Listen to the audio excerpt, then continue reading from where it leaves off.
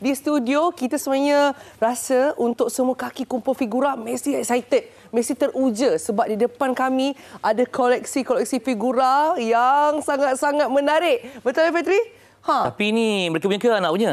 Ah, siapa punya? Anak punya kot. Bukan. Bukan eh? Pemilik-pemiliknya ini orang-orangnya. Kita ada Dan di sini. Ah, itu kita, dia. Ah. Kita bersama dengan Syahril Anwar Ismail. Ya. Okey, Izzuddin Zaini Zainal Abidin ya. dan Syarul Izwan Termizi. Ha, oh, baik. ini baru sikit saya kira kan.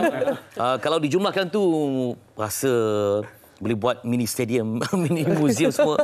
Okay, Berapa banyak uh, koleksi yang ada sebenarnya kalau kita ikut atas meja ni? Uh, kalau ikutkan lebih kurang almost uh, dekat-dekat 100 ni. Wow. Uh, Okey, uh, siapa yang paling banyak sekali koleksi? Uh. Hmm.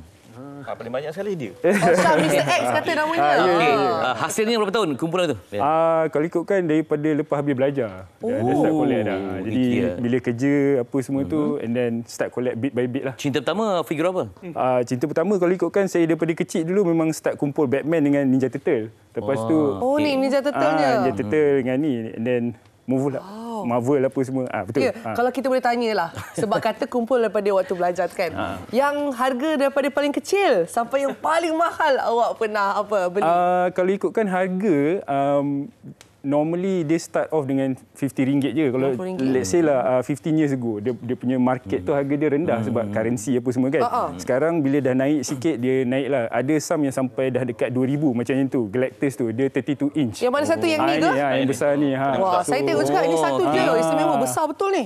Ya, besar dia, harga pun besar lah. Baik, um, nak tanyakan, bagi orang yang tak minat kan, apa kepuasan yang dapatnya? Dia macam more tu hmm. uh, nostalgia lah bagi saya untuk hmm. saya sendiri lah. Okey. Kita, kita boleh collect tu macam mengimbau kenangan yang baik tu. Tapi dia ada boleh tahu lah ini tahun bila semua. Ah, boleh kalau okay. kita tahu karakter certain karakter tu dengan diri kita tahu. Okey, uh, lebih kurang koleksi berapa banyak? Saya sendiri. Ha. Saya 500 less than 500. Kalau okay, let's say ada orang ambil salah satu boleh perasan tak? Saya baru nak tanya yang tu juga. oh, tak ada perasan. ha, boleh. Letak CCTV kot. Oh, okey. okey, macam Din sendiri kan. Macam okey, katanya tadi minat uh, apa Ninja Turtle dan sebagainya. Kalau untuk awak sendiri apa yang paling awak suka sekali dalam banyak-banyak figura ini? Okey, dalam banyak-banyak ni saya suka sekali Spider-Man. Spider-Man uh, eh? Dia oh. sebab saya dah lama kira stop uh, berhenti lah. Dalam satu masa saya tiba-tiba macam rasa nak start balik dan bila saya collect Spider-Man tu, alhamdulillah saya jumpa dengan Syaril. Wah, itulah uh, cara macam mana mereka boleh yes. Oh, ada ada komuniti lah kan? Ya, ada. Okey, baik. Uh, jadi apa isu-isu yang dibincangkan dalam komuniti? uh, mungkin uh, mungkin uh, ada yang nak berjual ke ataupun apa yang selalu dibincangkan? Uh, selalunya macam macam kami lah, especially kita orang uh, kita orang uh, collect figures yang articulated. Hmm. And then size kami pun kalau tengok semua lingkungan dalam 6 inci ke 8 yeah, inci. Yeah. Okay. And uh, bukan statue. Hmm. And kami cover almost semua pop culture, uh, apa ni, uh, video game, uh-huh. movies, uh, kartun, apa semualah. Ni, kalau macam Cik Fadil tengok ni ada uh, moto uh, Master of the Universe, He-Man, ada hmm. Thundercat. And then kita ada you know, Marvel. Uh, semua kita mix lah. Jadi kalau kita discuss pun memang dia mix lah. Dia universal. Kalau kita nak macam lah selepas simpan lama, dia punya proses untuk bersihkan tu macam ada tak dia punya penjagaan lah kan hmm, penjagaan dia rumit sikit bukanlah rumit tapi kena rajin itu je lah hmm. macam maybe spend uh, weekend tu kita spend time untuk just bersihkan saja. Okey ha? baik. Hmm. selalunya kan anak-anak kecil memang tak boleh duduk diam konteks figura ni. Antara dia akan cabut sedikit hmm. ataupun mungkin kepala nanti hilang. Hmm. pernah tak? Maksudnya kalau menjaga tu adakah disimpan di tempat betul selamat? Ataupun tak apalah main-main-main boleh je. Ah nak tanya ni Zudin Okey, yang tu selalunya kita akan letak dalam detof. Detof ni macam satu almari kaca. Okey. So bila kita orang letak situ dan uh, kita boleh kunci gitu. Oh, ha, tapi kita memang tak bagi budak-budak sentuh lah. ha, sebab ada setengah figure dia harga dia memang uh, memang agak-agak mahal lah. So mm-hmm. kalau boleh saya kita orang tak nak lah yang budak-budak main lah. Yeah, Okey, apa respon daripada pasangan ataupun kalau ada anak apa respon mereka? Oh, okey. Hmm. Kalau macam contoh saya, uh, wife saya sebab dia dah tahu dah, dia pun pernah belikan saya figure masa saya zaman kat UiTM dulu. Uh, oh, lepas tu menjadi isteri pilihan ah, lah. So, macam anak pun saya bagi dia main dengan Shira. Any of uh, any of the female character, hmm. saya introduce dia sebab dia based on trust kan. Kalau dia dah trust, dia main. Hmm. Kalau kita tak bagi, lagi dia macam agresif kan. Okey, uh, kalau saya lah seorang pengumpul benda-benda kan, saya suatu tahap saya akan rasa macam agak tepu ataupun nak upgrade benda tu jadi satu yang ada momentum baru macam mana? Bila kita kumpul-kumpul kan, dia mesti nak ada benda yang uh, lebih mewujudkan mm. daripada kita hanya mungkin okey kumpul dapat banyak. Mm-mm. Tapi apa yang dia cari? Jumlah ke ataupun ada sesuatu yang melonjakkan lagi kita punya semangat tiba-tiba tu? Uh. Dia sebenarnya kadang kita akan satu uh, bila kita collab ni akan sampai satu tahap ni kita rasa macam kita bosan pun ada. Mm-hmm. Uh, itu memang ada. So um, bila kita uh, macam bosan tu kita orang jual lah kira. Ha, hmm. tapi beli yang baru. macam tu. Ataupun macam certain ha. tu kita ada customize punya ha. ni untuk build the apa macam dia punya background. Oh, okay. So, bagi feel lagi lah dia yes, hmm. tu kan. Benda ni. Pasal dia apa maksudnya kena sentiasa kreatif untuk ha, menambah ha, naikkan ha. value okay, dia. Kalau ditanyakan dari segi uh, seni ilmu kan. Hmm minat apa? Minat kejuruteraan ke? Minat uh, design ke? Minat apa ke? Uh, warnanya uh, apa jiwa yang ada dalam figura uh. ni semua? Uh, te- uh, elektronik ke? Robotik ke apa? Misalnya apa dia? Kalau saya more to design lah. Macam dia punya hmm. kata apa estetik of the figure tu lah. Okey, yang paling paling contoh hmm. satu, memang satu awak rasa memang ini awak suka lah. Yang ni nampak macam berilah. Kalau lah. ni saya memang tak ada cakap bayar lah memang ni lah saya. Oh iya eh, yang ini. yang ini mungkin kamera boleh tunjukkan sedikit. Ah uh, yang ini katanya. Kenapa? Kenapa yang ini saya pilih kan? Sebab saya buat sendiri and then ni daripada local movie kita. Oh, uh, buat sendiri? Uh, boleh okay. Sekejap, kita boleh saya berangkat begini? Ah, macam mana agak-agak saya takut sebab ini paling disayang kan? Ah, saya risau. Ha. Ini daripada movie SS3 saya tak salah. Okey. Uh, itu Abang Aziz Osman punya filem. Ya, yeah, ya. Yeah. Uh, so saya minat movie tu and then saya cuba untuk replicate the apa uh-uh. karakter tu lah. Uh-uh. So uh, ni dah represent saya untuk karakter tu. Baik. Okey, okay, uh, bagi orang pengumpul wow. figuran ni kan ada sisi uh, sensitif ya?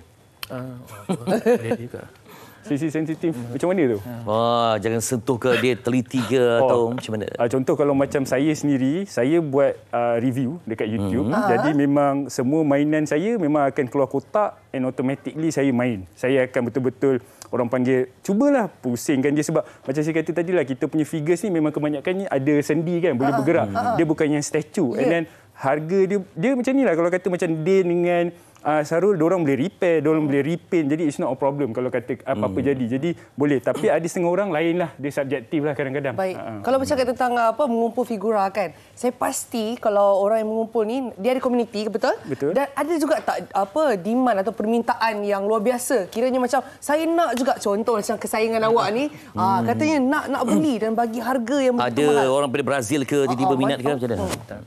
Tak dapat. ya. Memang orang sayang memang takkan lah walaupun harga dia tidak boleh. Kalau bagi Ferrari pun saya tak.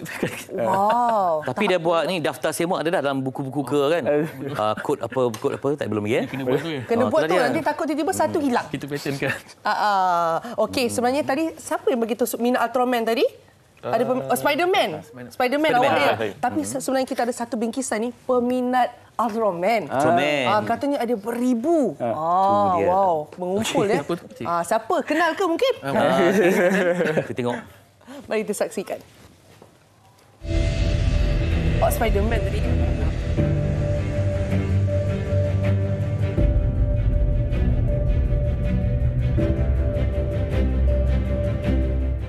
Ultraman, adiwira yang berasal dari Jepun ini terkenal di Malaysia pada akhir tahun 1980-an.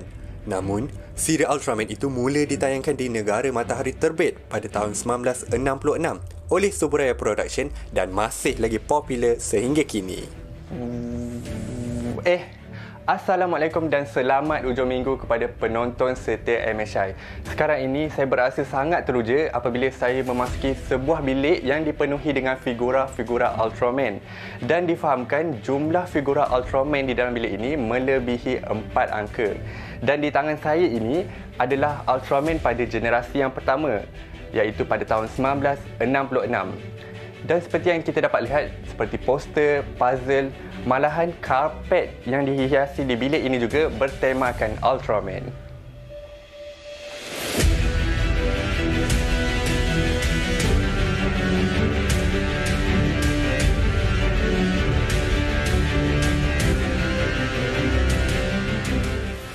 Kehebatan aksi Ultraman menentang makhluk asing mempengaruhi ramai kanak-kanak sehingga mempunyai jutaan peminat di seluruh dunia. Muhammad Hashidan Mohamed, 42 tahun tidak terkecuali menjadi peminat sejak dari bangku sekolah lagi. Disebabkan minat, Hashidan mula mengumpul pelbagai jenis patung dan figura Ultraman sejak tahun 2002. Namun, dia semakin serius sejak 2004 sehingga kini. Jika dilihat daripada koleksi yang dimilikinya, agak mengagumkan kerana boleh dilihat betapa mendalam minatnya terhadap hero dari Jepun ini. Menjadi pilihan saya lah Ultraman saya ni uh, sebab uh, kita saya lahir pada awal 80-an lah. So Ultraman merupakan uh, salah satu animasi ataupun adiwira kebanggaan masa saya kecil-kecil dulu lah. So antara adiwira yang menjadi penyelamat bumi lah pada ketika itu sehingga ke hari ini lah. So jadi saya minat daripada kecil lagi lah. Uh, anggaran figura yang saya ada ni saya pun saya boleh estimate lah lebih kurang dalam 1500 unit lah lebih kurang itulah daripada Ultraman dan juga uh, raksasa lah. Walaupun sasaran utama produk ini adalah untuk kanak-kanak, namun ada golongan dewasa yang mengumpul patung Ultraman ini sebagai hobi untuk dijadikan koleksi. Bagi peminat tegar Ultraman ini, Hashidan turut mendapat sokongan daripada dua anaknya yang berusia 15 dan 19 tahun, malah dia juga mempunyai rakan-rakan yang meminati hobi yang sama. Disebabkan figura-figura yang dipamerkan selalu kotor kerana habuk, Hashidan akan membersihkannya ketika waktu lapang demi menjaga nilai setiap Ultraman miliknya itu. Malah, dia juga tidak kisah berhabis duit untuk membeli permainan itu demi menambah koleksi. Wah, memang besar ya bang. Ni agaknya satu figura ni berapa nilainya? Ini salah satu figura favourite saya lah. So saya beli dulu uh, dalam harga RM1,200. Hmm. Selain mengumpul koleksi Ultraman, Hashidan juga berkongsi ilmunya terhadap pengumpulan figura itu di media sosial Facebook miliknya iaitu Ultraman Malaysia Legacy yang kini mempunyai ahli seramai 6,000 orang. Malah, hobinya itu tidak pernah surut walaupun rumahnya seolah-olah boleh dijadikan muzium Ultraman. Kesemua figura Ultraman itu masih kekal dijaga rapi dan ada yang boleh dijadikan aset untuk dijual dengan nilai harga yang tinggi.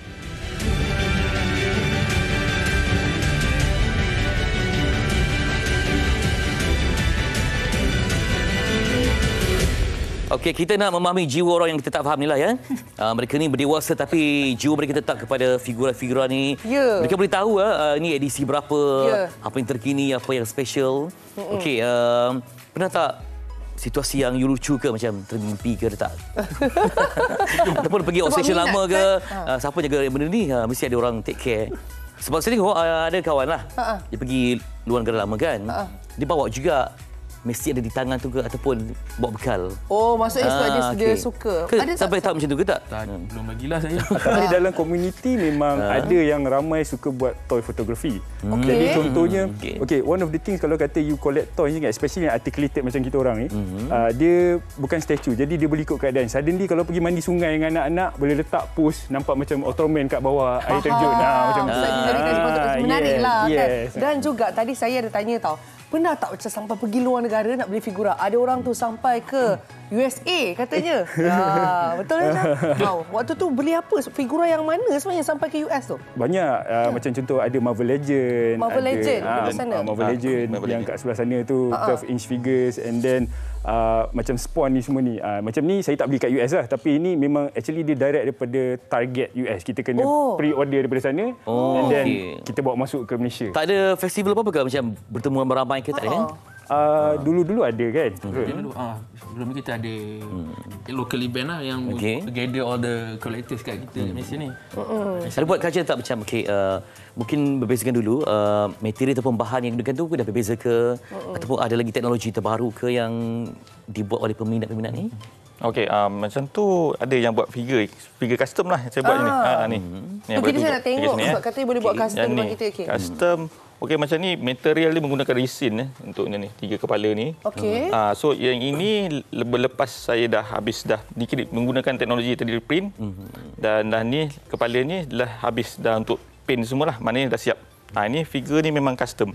100% custom. Oh, baik. Daripada kosong. Mana uh, je lah start from scratch daripada saya beli body yang kosong saya pakaikan ni baju, beli kasut Hmm. semua tu. Oh, nampak tu. Oh. So, so, maksudnya daripada zero ya. Yes, Okey, betul. da- dalam perbelanjaan. Ah, nak cerita. Kumpul figura ni bukanlah satu apa? Maintenance tu penting juga. Ah, nak beli tu nak tahu juga kan. Mungkin ada minat lain ataupun memang minat figura saja. Jadi maksudnya perbelanjaan tu kalau suka memang untuk figura je. Ah, siapa nak jawab ni? Oh, so uh, alhamdulillah macam saya saya tak merokok kan. Saya okay. tak merokok. So hmm. saya punya bajet tu banyak sikit lah kan. So kadang-kadang ada yang kena bajet-bajet monthly kena kira-kira kan. Mm-mm. So macam saya uh, average monthly kadang-kadang kita spend based on apa yang kita dah PO few months. So kadang-kadang dia accumulate katalah macam Galactus ni. Ni. Dia ah ni dia is a Haslab project daripada uh, Hasbro Marvel Legends. Uh, kita kena pre-order dia a year before dia keluar tu lah. Jadi kalau kita nak pre-order dia harga dia 400 450 USD. Uh, kalau convert ke Malaysia dalam 2000 ke 2100. Hmm. Termasuk shipping lah. Jadi kita akan bayar staggered lah. Jadi kita kena pandai-pandai lah kita punya hmm. payment tu kan kita kena tahu lah. Itu itu cara saya jaga saya punya bajet lah. Uh, kalau orang lain mungkin cara dia lain. Yalah, okey. Apa wawasan nanti nak berhenti umur 70 ke atau ataupun nak sambung legasi ke Ah, anak-anak okey. ke? Ah, macam mana? Ah, okey. Sambung dengan situ kan, untuk anak-anak kan. Ya. Ah, okey. Okey. Anak-anak minat tak ke dia minat uh, lain? Ha. Pimpin ke? Ah, Anak-anak saya seorang je. Ah, ah, Alhamdulillah anak saya memang minat. Jadi Ya. saya memang ajar dia lah collect-collect a few, few figures. Ah, so depends lah kalau dia dah besar nanti macam mana dia punya ni kan intention dia so ikut dia lah nanti. Ah, baik. dia. Okey. Siapa tahu nanti mungkin ada rezeki lain ke uh, jadi um, pempameran benda-benda tempat yang unik kan? Uh, siapa Ah, tahu. Mana tahu nanti boleh buat lagi apa InsyaAllah, macam satu amin. museum ke mini expo. boleh. Mungkin Oh, itu kan. menarik, Ah. memang menarik. Menarik eh, menarik ya. Okey, terima kasih untuk Syaril Anwar, Izzuddin Zaini dan juga Syarul Rizwan. Uh, figura yang datang membawa figura Ya, betul. yang unik untuk kita di hujung minggu hari ini di MHI. Ah. Okey, kalau saya kan, nama banyak ni, saya minat yang ni lah. Sebab dia comel macam gebu.